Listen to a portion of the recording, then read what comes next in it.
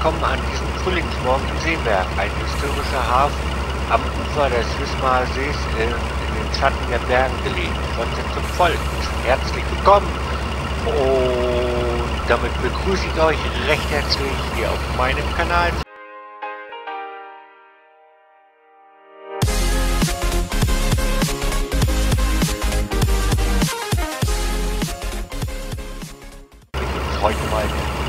Strecke rausgesucht, der Seebergbahn und wie ihr in der Beschreibung schon lesen könnt,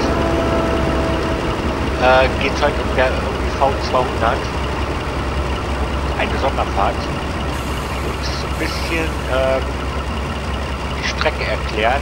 Und wenn ihr das hier lesen wollt, was hier immer so eingeblendet wird, haltet das Video kurz an, könnt ihr euch durchlesen und dann macht das Video halt weiter, ne? Äh, dann wollte ich das nicht extra vorlesen, weil so schnell komme hinterher und naja. ja, wie gesagt, seid alle herzlich begrüßt. Wir machen heute eine kleine historische Fahrt mit der V200. Und dann düsen wir auch schon mal gleich los. Weil wir so viel Zeit gar nicht haben. Auch wenn es ein Sonderzug ist, der Bumper recht eng schnallt. Oder schnallt, schnell wie auch immer, wie man das so bezeichnen kann. Ich hoffe, dass das jetzt mit dem, ähm, mit dem Sound ein bisschen besser ist. Mein erstes Video aufgenommen Video, da leider wieder fehlgeschlagen. Ja, und dann gucken wir uns so ein bisschen dabei die Gegend an. Hier drüben haben wir den See. Hier wir die herrlichen Berge. Herrlich. Hier sieht man noch, so, noch nicht so viel, aber da hinten kommen wir in die großen Berge rein. Ja, und das Ganze fahren wir hier mit der V200. Nicht mehr das jüngste Schätzchen, aber trotzdem. Schön. Herrlich, herrlich, herrlich. Oder wie man so schön sagt. So, 100 dürfen wir fahren, ne? Lass uns mal auf 100 beschleunigen. So. Zeigen wir das Ganze nochmal von vorne. So, zeigt immer an hier. So, einmal links hier vorbei zu lassen.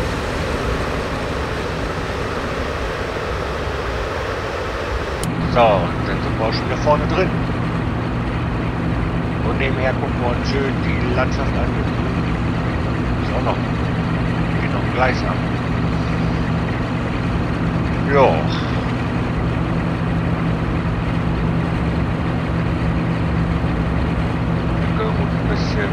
Beschleunigen.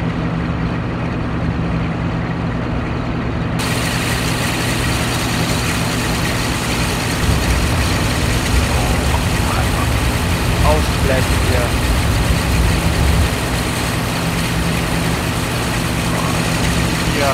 Äh, Deutsche Reichsbahn V200 033. schneller, aber ich fast so gedacht, weil es tierisch bergunter geht. Ganz schnell mal wieder vorne rein. Damit wir unsere Lok hier ein bisschen unter Kontrolle kriegen.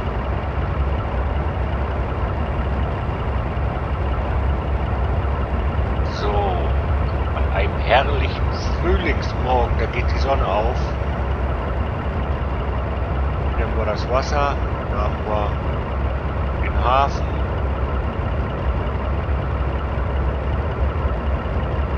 Hier geht's hoch zu den Bergen.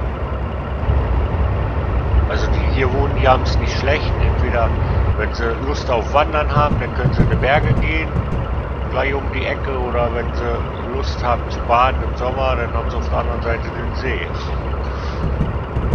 Beides sehr nah beieinander. So, nächster Halt ist Brecht in 2,2 Kilometern. Da erhalten wir dann weitere Infos zu dem See hier, zu der Strecke.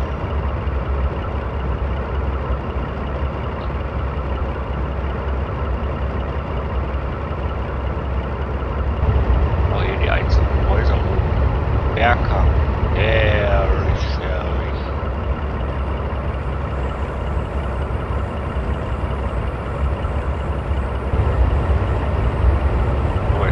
mal nach draußen gehen.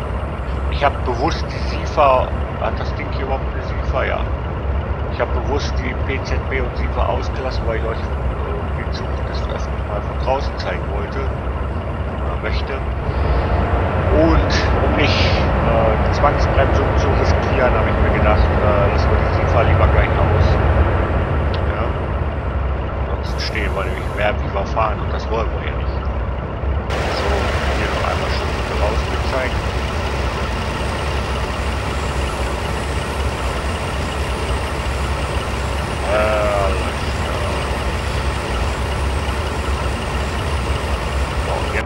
vorne rein, weil gleich haben wir Brechte erreicht.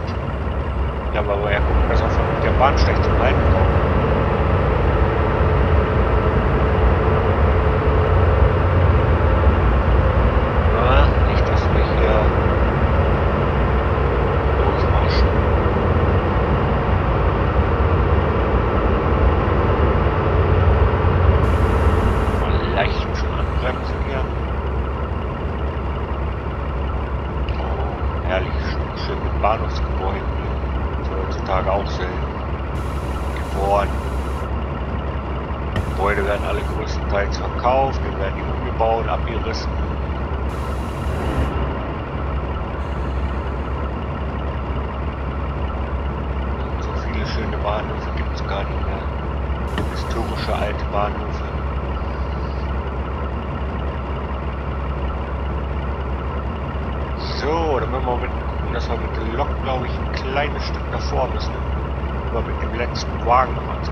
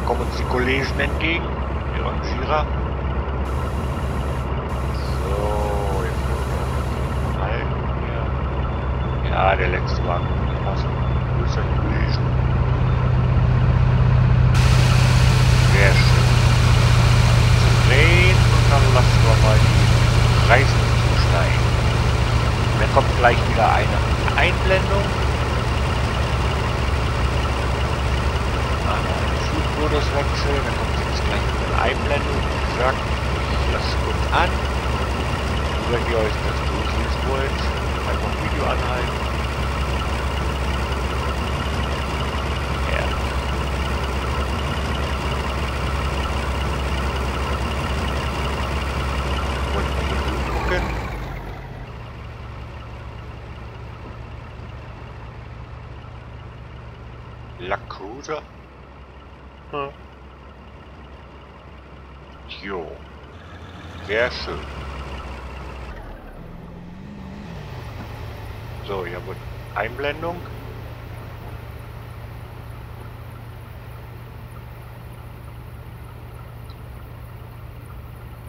Lass auch kurz durchlaufen. So, wie gesagt, jetzt kommt gleich noch eine Einblendung. Stand ja äh, Fortsetzung folgt.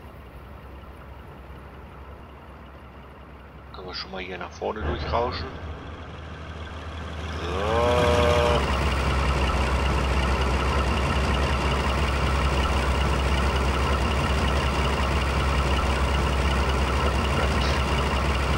So. Gut. Dann haben wir hier alles erledigt und können dann auch schon direkt erstmal vorne wieder rein und zack, weiter geht's. Auf nach Echten. Dann halten wir noch eben den echten. Gucken uns da äh, die Geschichte an.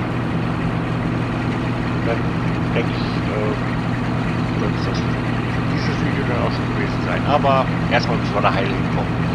Das sind noch 3,4 Kilometer bis dahin. Ja, und diese so alte V200 hier aus dem Krieg kommt. Ist das schön. Äh,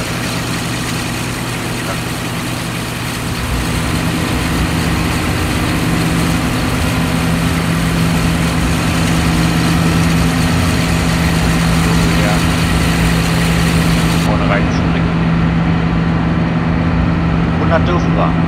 Naja, gleich nicht mehr, gleich nur noch 80.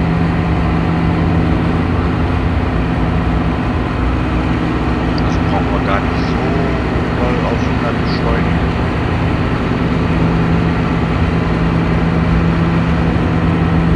Der See. Morgendlichen Sonnenaufgang.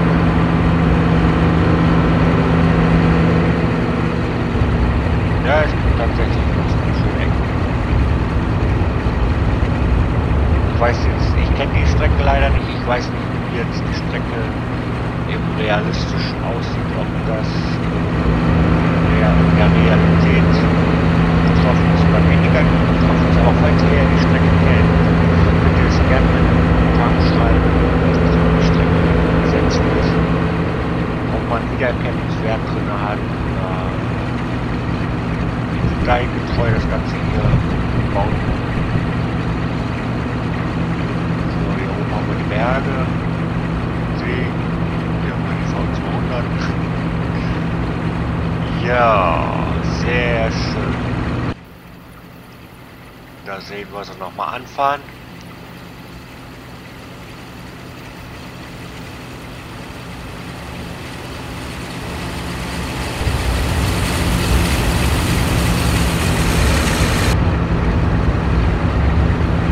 So, zwei Kilometer noch, den haben wir echt erreicht.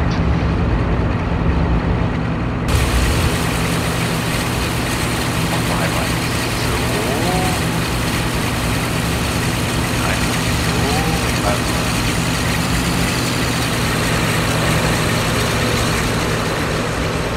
Ja, der ist aber gut äh, gefiltert. Wenn 8 Wagen dahinter, das ist schon eine Leistung. So. Ja bald echt da vorne erreicht. Dann die nächsten Kurven. Da Jason schön links. So. so. Mal noch zum See rüber. Das ist aber groß, der See.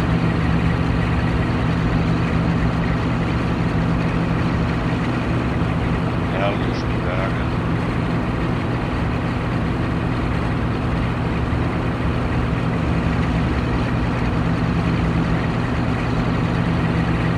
Ja, ja. Es gibt schon schöne Ecken.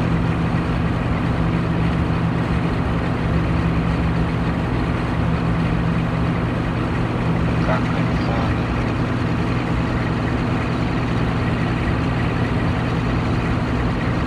Seid ihr auch schon mal mit der V200 gefahren oder zumindest im Zug mitgesessen, wo ein V200 davor gewesen ist? Also ich persönlich noch nicht ehrlich nicht.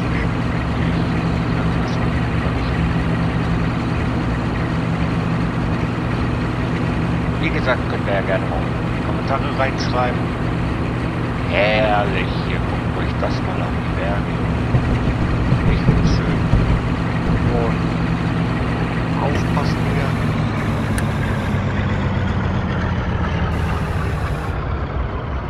Hier steht der normale Interregio. Da, was hat er denn noch vor? 101er. 101er.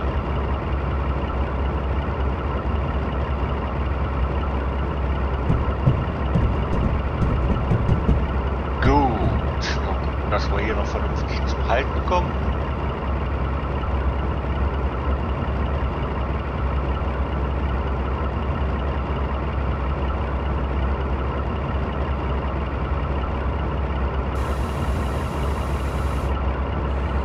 Am besten vor dem Signal. Das, das ist Eieieiei. Schön verbremst.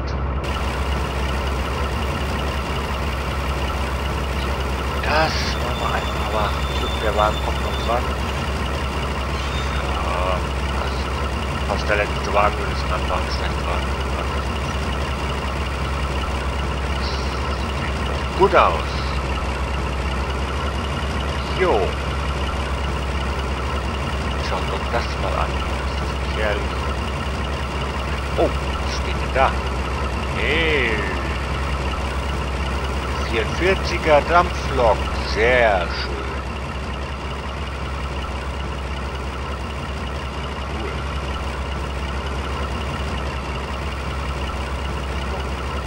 Wagen hier sind sogar noch. Hey Leute, wisst ihr, was ihr auf dem Abstellgleis steht? Könnt aussteigen. Da habt ihr noch gar nicht mitgekriegt. Ja, gucken wir uns mal eben nochmal hier von einmal ein bisschen hoch. So. Ihr habt da wieder die Aufgabe, könnt euch gerne durchlesen, haltet da kurz Video an, könnt euch durchlesen. Gut, dann machen wir hier nochmal einen Rundumschlag.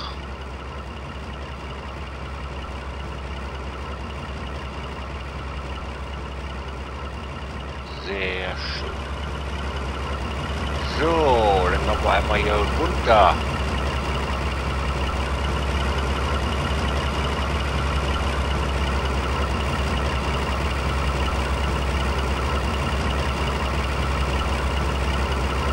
Ja gut, und dann würde ich sagen, mit diesen letzten kleinen Bildern äh, soll es das für die Folge auch schon wieder gewesen sein. Äh, ich hoffe, euch hat die kleine Tour gefallen. Ähm, dann lasst gerne einen Daumen da oder eine Bewertung in den Kommentaren. Wie gesagt, ihr könnt ja gerne mal eure Erlebnisse mit der V200 oder wie euch die 200 gefällt runterschreiben. Ansonsten würde ich sagen, bis zum nächsten Video. Macht's gut und bye bye.